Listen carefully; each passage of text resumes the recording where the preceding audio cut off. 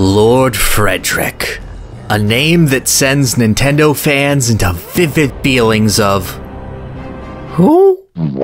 Ah, right, yeah, not K. Rool. Yeah, I, I didn't actually finish Tropical Freeze. Great game, though. In all seriousness, the final boss of Donkey Kong Country Tropical Freeze is unfortunately remembered for being a merely serviceable ending to one of the last decade's premier platformers. Everything leading up to the guy is fabulous. From the Kong slowly reclaiming a frozen over Donkey Kong Island world by world, to the previous Snowmad generals raising the bar for world bosses with some truly fantastic showdowns and also this pufferfish. Inflate himself!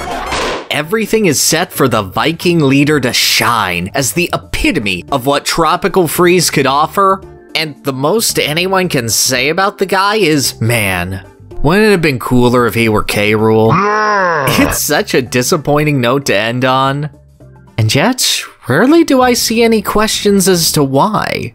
Because Lord Fredrik serves as a very well thought out boss battle, a worthy finale in any other game, but being in Tropical Freeze specifically makes all of Fredrik's great efforts ring hollow.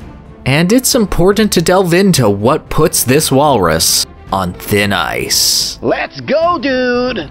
It's prudent to note that before you face the Snowmad War Chief, you have no idea who Lord Fredrik actually is. His general body shape is revealed, sure, he's a big dude with a giant horn. Oh, big. But Freddy is always kept in shadow, shrouded in a layer of secrecy. Who is the boss of the Snowmads?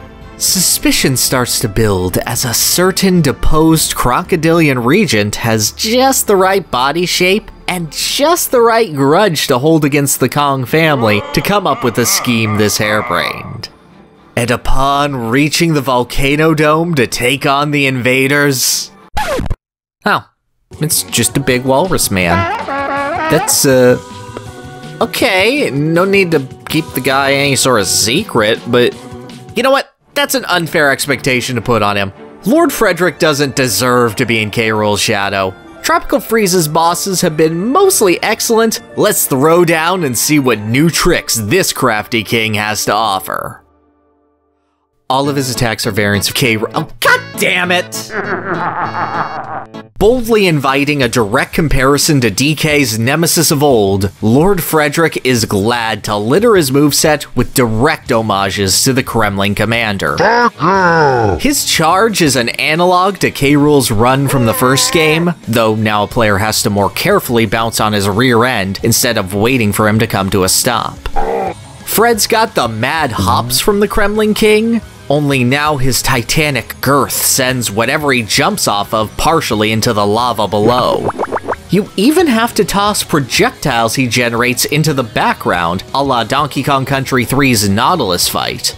Albeit this is a lot more direct and Fredrik's happy to shuffle around like a soccer goalie. And these three techniques are all the attacks Lord Fredrik has to offer in his first phase. Oh no, while there are noted differences from K Rool fights, and most of them modern improvements that make the King's simple patterns a bit trickier to deal with, it's hard to feel like this fight isn't just. Now that's what I call K Rool, Volume 5. Oh, yes. But after three hits, Fredrik continues to follow K Rool's lead and changes phases, opening things up by summoning Trishula, Dragon of the Ice Barrier. This terrifying beast swept the Kong family off the island at the start of the game, turning it cold and desolate. And Fredrik uses the awesome power of the frozen dragon to do K. Rool's cannonball attack from DKC 1. But this time it makes ice physics happen when it crashes into the ground. Oh, and when you get him into phase 3, he shoots it right at you. So you can do the cannonball sequence from DKC 2, but dragons. Hmm. There are embellishments here and there, but nothing that Lord Fredrik does is much more than an Ice Viking themed homage to the Kong's old nemesis. And it does take away from the opportunity for Fredrik to have a personality of his own. As simple as Donkey Kong bosses are, they're allowed to show a lot of themselves in what little screen time they're allotted. From belching barrels to evil snowmen that make Charles Dickens references to reject Terminator Jack in the Boxes. The foes of Kong do as much as they can to stick out to the player. K. Rool himself is the epitome of this. A horribly insecure villain who fakes his own defeat in order to try to get a cheap shot, constantly reinventing his own look, blows up his people's ancestral homeland out of his own hubris, My pretty little island is no more. and he makes funny noises when he gets hit. While K. Rool might have some of the most reverence of all the villains of his era, mechanically, he's only really been a great boss in Donkey Kong Country 2. It's his character, his willingness to play the buffoon, toy with players' expectations, and still provide a reasonable challenge that makes K. Rool so enduring. Where I come from, we do things with style, drama, flair. Lord Fredrik copies K. Rool's mechanical identity very well, but not only is he taking from two less than stellar appearances, but the greatest strength of those appearances the bombastic, meta leaning personality of the king slash captain slash baron was replaced with only a generic Viking brute who sometimes does touchdown dances. Which, come on, man. Bashmaster had more personality, and he's a realistic looking polar bear whose entire story is. My ice cream cone. But you know what? Lamenting over what Lord Fredrik isn't is a bad way of thinking about it. Let's take K. Rool totally out of the picture and just judge the Walrus Warlord on the merits of how good his boss fight is and how well he props up Tropical Freeze's unique strengths. And in that regard, Fredrik is completely and definitively mediocre. In order to actually land any lasting damage on the Homewrecker, you've got to hit him once during his running around in the background phase, so he'll let you beat him up directly. This game of dodgeball persists during all three phases of the fight. Hitting him during it doesn't actually damage him, just swaps things to his foreground phase. And it's never made more difficult so much as it is made more annoying. Fredrik is never threatening when you're trying to lob a penguin at his head, simply trying to juke you out and hoping the ice carpet he spread for you will take care of the rest. And if you miss all your shots, he'll just toss out the same predictable attack pattern that you'd have to be sleeping in order to get hit by, taking out a significant deal of tension from the fight.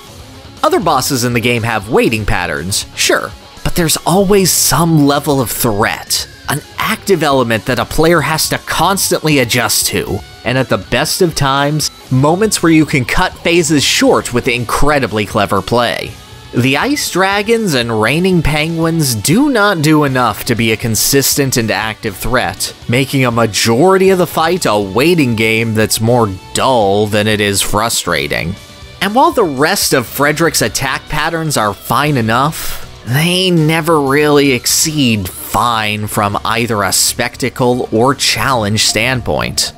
Tropical Freeze is a game that is exceptional at ramping up tension, creating dramatic set pieces that crescendo with insanely creative and thrilling moments of spectacle. Its bosses are much the same. Skowl slowly letting players ascend up as he attempts to blow them off Autumn Heights.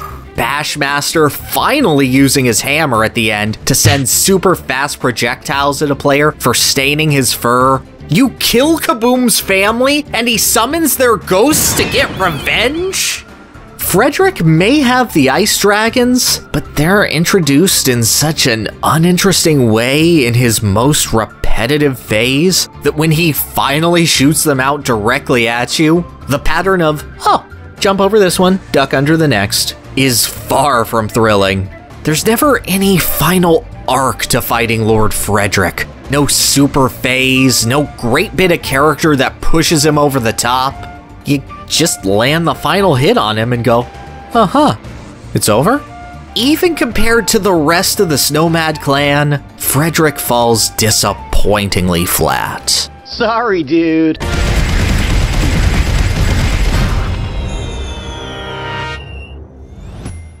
There is one attack that Fredrik didn't crib from K. Rool letting him shoot the entire arena into the air with lava geysers, the player having to stay airborne as long as they can until solid ground appears underneath, or else risk sinking into the instant death lava. This is Lord Fredrik at his best, proudly throwing his weight around and forcing the player into a literal do or die situation.